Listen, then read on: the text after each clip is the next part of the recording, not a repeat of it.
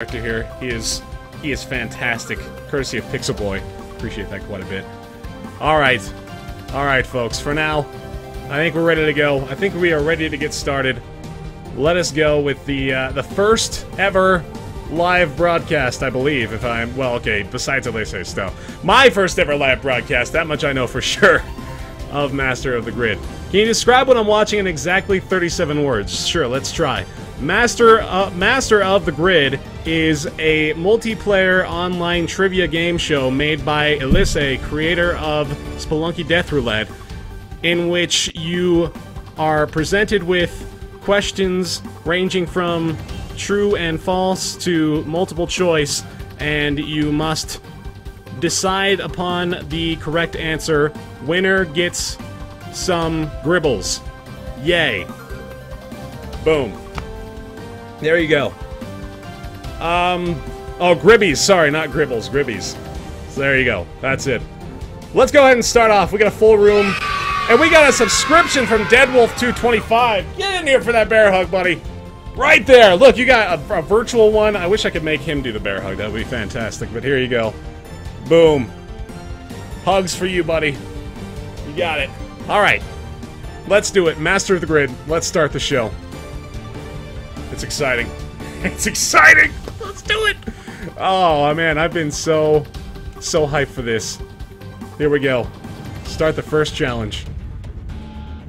What animal produces the loudest noise relative to its size? The pistol shrimp, the howler monkey, the water boatman, or the screaming toad? Cast your vote. Not really a vote, I suppose, but more of a selection of the correct answer. Let's see who's got it. We got three seconds left. The correct answer...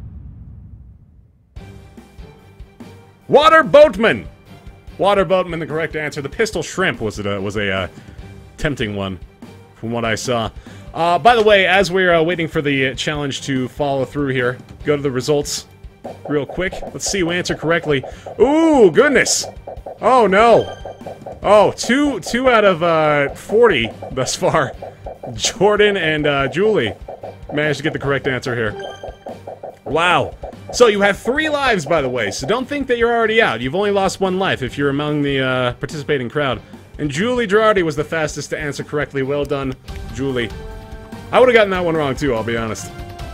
By the way, uh, before we get into the next challenge, just want to say real quick, uh, those of you in the chat, I have both the uh, I have both the chat open for the Twitch stream as well as the uh, as well as the Master of the Grid page. I would ask kindly that you guys refrain from entering answers into the chat. Also, of course, please refrain from Googling the answers, as that's just not fun for anybody. So, without further ado, then let's go on to the next challenge. In Rogue Legacy, the video game Rogue Legacy, what does the Hyperion's Ring item do? Makes more gold drop from enemies, makes more gold drop from chests. When you die, it will revive you once at full health, or when you die, it will revive you once at 25% health. Five seconds left. Do you do Sudoku, Ice Blaze? I used to do Sudoku. Not too much anymore. The correct answer. The Hyperion's Ring, when you die, revives you once at 25% health. Who got it? Ooh, we got some mixtures of excitement and horror in the chat. Let's check out the results, see who got this one. Oh, we're gonna... We're gonna start losing some people pretty soon here off the top row. That looks bad. Oh my goodness. You tried to make an NLC. I, I saw that look. Yeah, I saw that one. That was a... it's a... It's a good resemblance, I think. There we go. And a Luke was the fastest to answer correctly. Well done, Luke. Very good. Alright. We're into question three. This could be the moment in which we start to lose a few folks. Let's see what happens. Let's start the next challenge. Which author wrote Where the Red Fern Grows? Was it Jack Miller, Laura Numeroff, Wilson Rawls, or Barbara Park? Shall find out. Ten seconds left. Oh, you can't select an answer, Smee one. Oh, uh, try refreshing the page, maybe. That'll perhaps do the trick. Could do it for you. Did you get it right? Let's find out. Wilson Rawls is the correct answer. Let's see who got that one. We might start losing folks. Oh, and they're bouncing out like flies! Oh, no. My goodness, we lost a lot of people on that one. Holy cow. Holy cow. Oh, no, NL's in here as well. What's going on, buddy? Fastest answer provided by Mark O'Banterbury. The fastest to answer correctly. It looks like we've lost maybe half of our participants off of the Red Fern Grows. My goodness, I can see your comment, Conman, yes. I can see uh, everyone. I see it all. My goodness. How many did we lose? I want. I'm gonna wager a guess and say that we lost approximately 30 people there. That was that was a doozy. All right. Next challenge coming up. Again, I'm just uh, just so you guys know, I'm uh, just verifying our uh, challenges coming up here just to make sure we got good stuff coming up. So, all right, next challenge. Away we go. We have our first true and false question. In the Green Lantern universe, there was a rainbow lantern reserved for charters that have mastered all seven of the emotions in the emotional spectrum. I think that might mean characters, but I'm not entirely sure. Is that a true or a false statement? Seven seconds left. Used to watch this game show as a kid. Nice, BMG. That's impressive considering it didn't exist back then, but well done nonetheless. I am now breathing manually. Oh, God. That is a false statement. Not exactly sure why. Let's find out who got it right. Oh, man, lost a few more off the top row as well. Baconator, Golden Lombax, Professional Scumbag, and Guest 15300. Surviving up there. Van was the fastest to answer correctly. Got your fancy little crown there, Van. You gotta love it. It was Trolls. Yeah, that was also true. It's also true, and it's also Trolls. We gotta get down here. There we go. The ejections! We got anybody with three hearts still? Let's have a quick look here. We got one heart, one heart. Oh, man. Oh, man. Folks surviving by the skin of their teeth up here. You got anybody at the full, uh... Full life bars yet? No. None that I can see. My goodness. Alright. This is gonna get intense. Up to the last moment. Let's see it. There's a white lantern for that purpose, not a rainbow one. Okay. See? Good to know. Alright. Next challenge. Let's do it. What is the population of Liechtenstein? As of 2014, this is just your best estimate, by the way. You don't have to get it exactly right. Hammerschnitz beats you indeed. Secretly playing on an account that doesn't resemble my Twitch name. Oh, snap, B-Rex. Tell you what the name is I'm playing under is when someone wins, aka when you win, right? I'm sure. What is the population of Liechtenstein? Your best estimate. Let's see it. Let's see it, folks. I gotta get my auto scroll going on over here. I can't get it. This one's pretty cruel. Between 36 and 37,000. Whew. Alright.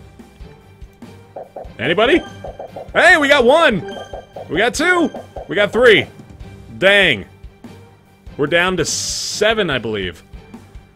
Guest 15300 up there. Killing it. One, two, three, four, five, six, seven, eight. We got eight players left. My goodness. Dithyrambus! Hello there, buddy. Whew. That was a toughie. Alright. We got one that I think may be, uh, maybe a little bit more familiar to those of you in the audience today, so... Let's try this one out. What was the earliest gaming console? Was it the Atari, the Video Entertainment System, Magnavox Odyssey, or the Famicom? 13 seconds. Within 500. That was, yeah, that was, uh, that was a bit of a brutal one. But this one I hope a few more folks are maybe slightly more familiar with. Let's find out. Did you get it right? The answer, the Magnavox Odyssey. Who got that one? Let's find out. Oh, we booted a few. We're down to four. My goodness. Arceus was the fastest to answer correctly. Of course, I gotta let you guys know. Winner of today's shows, the winners of today's shows, rather, uh, get 1,000 griddies each. Uh, people who lost during the last round get 150. People who lost during the round before the last round, or the, you know, second to third to last round, I guess I should say, get 50. Everyone else gets a griddy for playing, so keep that in mind. We've got our next challenge on the way. Let's do it.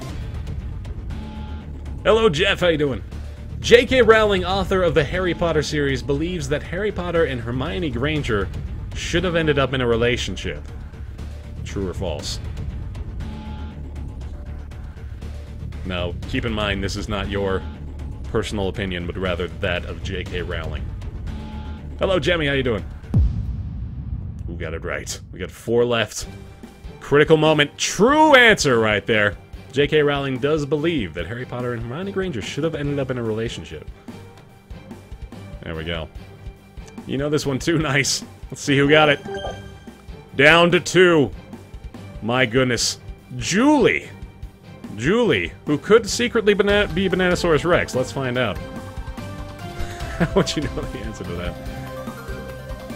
Actually, Creator Brian, you very well can create your own questions. In fact, if you want to go to uh, the submission page on masterofthegrid.net, uh, moderator, please feel free to drop that link in the chat anywhere you want. Team Julio, we got we got a, chat divided on masterofthegrid.net. Julie Girardi and Erwan Parrott are two remaining contestants. Let's start the next challenge. Roughly how many islands are there in the Indonesian archipelago? Wow. 25 seconds. You got some time. Think about this one, I think. Oh my goodness. We got Team Julie and we got Team Erwin. Roughly how many islands are there in the Indonesian archipelago? Seven seconds left.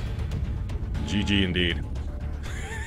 this one is this one is brutal as well. the rough estimate answer is between 1,700 and 1,900 islands in the Indonesian archipelago. Let's find out who may have gotten within even a little bit. We have a winner! Erwin! Erwin Parrott, everybody! Congratulations, Erwin, the first victor of our first round of Master of the Grid. Well done, Erwin. Good job. You've earned yourself a cool thousand griddies, which you can use, of course, to purchase beautiful little caps for your beautiful little head. There goes the show. That was fun. that was a good time. Your guess was literally 34. That's beautiful, B-Rex. Oh, man. So that's the first game. We'll play quite a few more here, guys. I'm going to play uh, 60 seconds of ads while we wait for the seating to uh, go through again. We'll be right back with more Master of the Grid right after this.